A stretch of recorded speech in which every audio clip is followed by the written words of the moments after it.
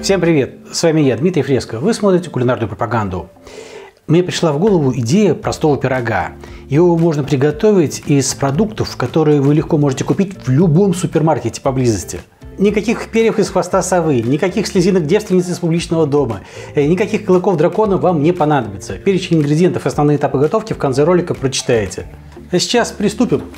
Надо начистить картошки для картофельного пюре и отварить ее в подсоленной воде. Грибы довольно крупными кусочками нарежу. У меня шампиньоны, но можно брать любые абсолютно. Масло разогреть в сковороде. И отправляю грибы обжариваться. Сначала огонь сильный, надо дождаться, когда грибы дадут сок.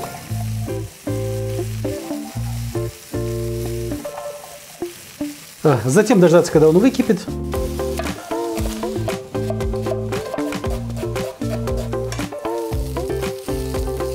И вот только затем добавлять лук. А пока лук обжаривается, нарежу курятину кусочками. Я взял бедро с уже удаленными костями, чтобы время не терять. Но можно вообще любое мясо использовать. И курятину, и говядину, и свинину. Какой вам нравится. Естественно, результат по вкусу будет разный. Но кто вам сказал, что это плохо? Когда лук уже немного обжарится, можно добавить курятину и обжаривать уже все вместе.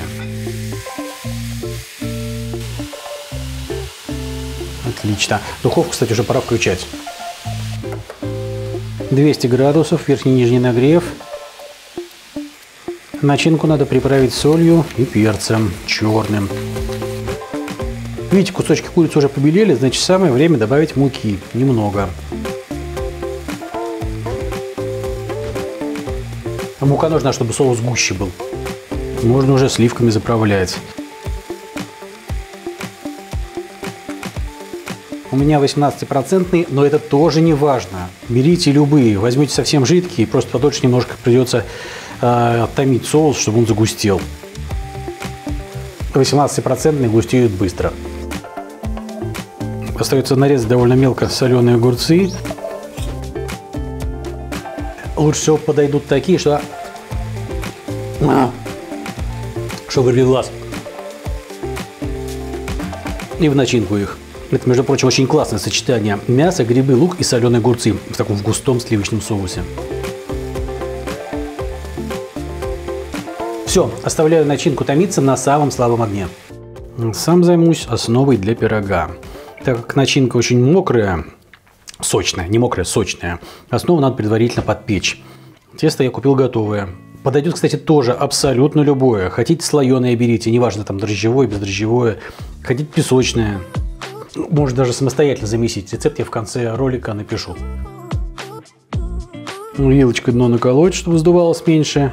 И гороху насыпать для тех же целей. И в духовку на 15 минут. А мне уже пора пюре готовить. Картофельное пюре стандартное, со сливочным маслом и молоком.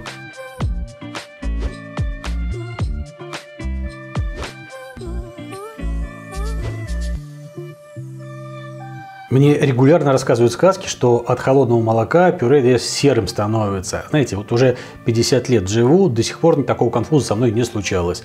Что я делаю не так? Так, нагрев под начинку уже можно выключать. Кстати, если у вас слишком густой соус, то всегда можно добавить воды или молока и довести до желаемой густоты. Все, жду, когда основа подпечется и можно собирать пирог.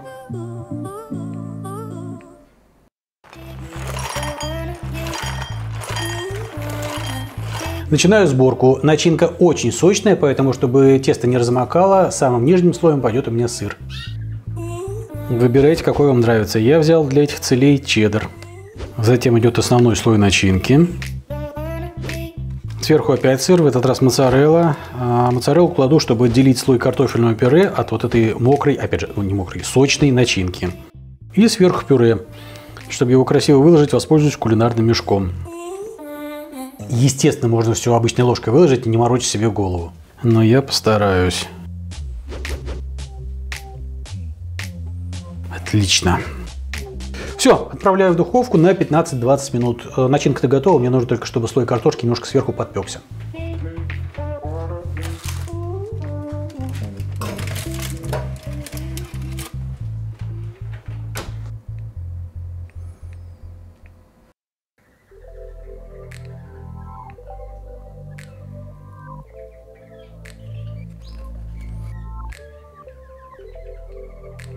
Долгожданный момент пробы. А, вот, вот такая форма укладки картошки, то есть при помощи а, мешка кондитерского позволяет получить большое количество таких остреньких краев, которые в духовке очень быстро подпекаются и приобретают а, аромат печеной картошки. То есть это одновременно и вкус пюре нежного такого с молоком, с маслом, и одновременно и печеной картошки. Мне это очень нравится. Конечно, можно все выложить обычной ложкой, потом сделать такие как бы волны, какие-то барханы, но это не очень красиво в принципе, для домашнего, так сказать, потребления, когда не нужно гостям что-то показывать, вполне можно, э, не мучаясь с мешком, так сделать. Давайте пробовать. Так. Ну-ка.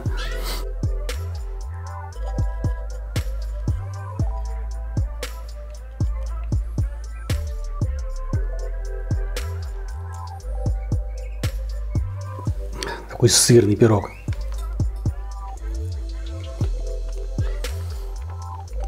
Слушайте, это классно. Это, это классная начинка. Я не знаю, пробовали ли вы, есть такое блюдо, по-моему, эм, из прибалтийских стран, курзамес называется. Там, как правило, свинина эм, тушится, обжаривается с луком в соусе, с сметаной, иногда со сливками. И туда добавляются как раз-таки соленые огурцы. В данном случае это курятина, плюс еще грибы. Это очень классное сочетание, потому что сливки с обжаренным луком придают сладости соусу. А, соленый огурец, кислоты яркой такой. Мясо, ну оно и есть мясо, в данном случае курятина. Это здорово. И плюс печеная картошка. Замечательно. Не обязательно покупать готовое тесто. Можно самому сделать это быстро. Потратите максимум минут 10. Слушайте, здорово. Готовьте. М-м. Чудо. Короче, готовьте такую вкусноту и наслаждайтесь. Огромное спасибо за компанию, за лайки, дизлайки, за репосты. Всем пока. Будем обжираться.